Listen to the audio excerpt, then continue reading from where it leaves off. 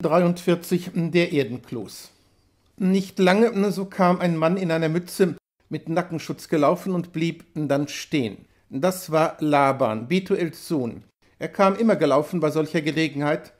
Ein paar Jahrzehnte, ein rasch vergangenes Menschenalter war es her, dass er genauso gelaufen gekommen war, damals als er Eliezer, den Freiwerber, mit seinen zehn Tieren und Leuten am Brunnen gefunden und zu ihm gesagt hatte, Komm herein, du Gesegnete des Herrn. Nunmehr ein Graubart lief er wieder, da Rahel ihm angezeigt hatte, dass Jakob da sei von Beersheba. Kein Knecht, sondern Abrahams Enkel, sein Schwestersohn. Dass er aber stehen blieb und den Mann herankommen ließ, geschah, weil er nichts von einer goldenen Spange an Rahels Stirn hatte bemerken können, noch etwas von Armringen an ihren Händen, wie damals bei Rebekka und weil er sah, dass der Fremdling nicht als Herr einer ausgerüsteten Karawane kam, sondern sichtbarlich ganz allein auf zerschundenem, magerem Tier. Darum wollte er sich nichts vergeben und dem angeblichen Neffen nicht zu weit entgegenkommen, war voller Misstrauen und blieb mit verschränkten Armen stehen, sein Annahen zu erwarten. Jakob verstand das wohl, beschämt und beklommen, wie er war, im schlechten Bewusstsein seiner Armut und bedürftigen Abhängigkeit.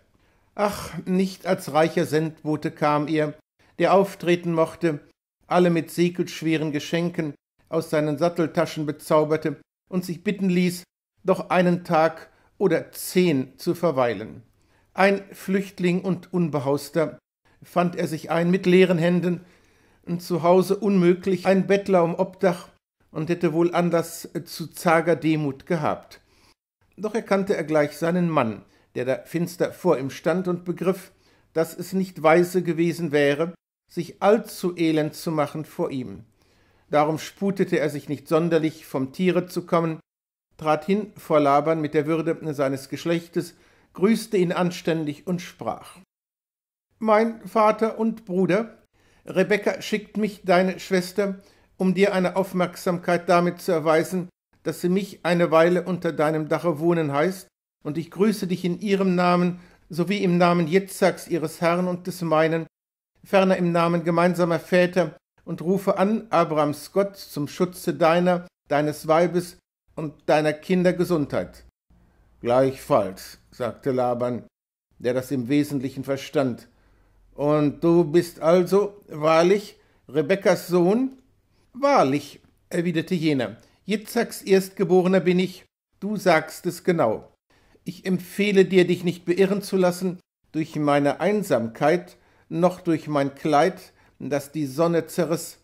Mein Mund wird dir alle diese Sachen erläutern zur rechten Stunde, und du wirst sehen, dass wenn ich nichts habe, außer der Hauptsache, ich doch eben diese habe, und dass, wenn du zu mir sprächest, Gesegnete des Herrn, du den Nagel auf den Kopf treffen würdest. So lass dich herzen, sagte Laban finster nachdem der Hirte Jerubbaal ihm dies in Umu Umu wiedergegeben, legte die Arme auf Jakobs Schultern, neigte sich neben ihm, erst rechts, dann links, und küsste die Luft.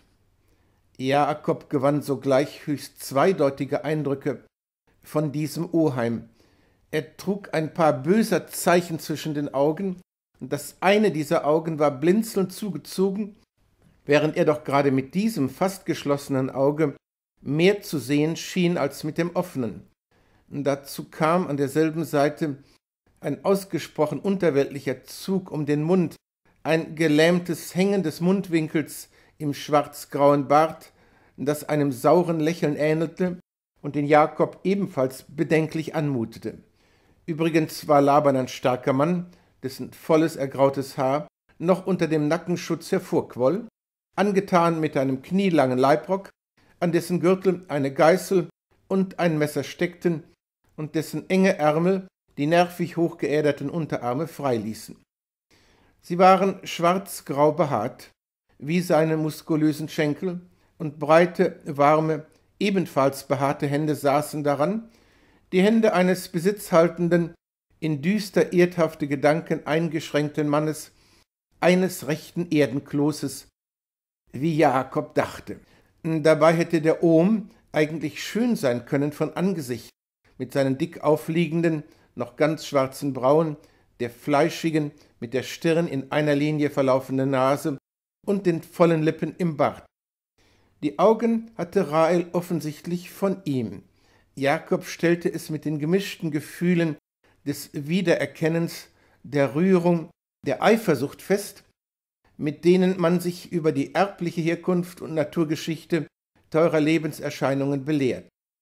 Eine glückliche Belehrung, insofern sie uns in die Intimität solcher Erscheinungen dringen, uns gleichsam hinter sie kommen lässt, aber doch auch wieder auf eine gewisse Weise kränkend, so dass unser Verhalten zu den Trägern solcher Vorbildungen sich aus Ehrfurcht und Abneigung eigentümlich zusammensetzt.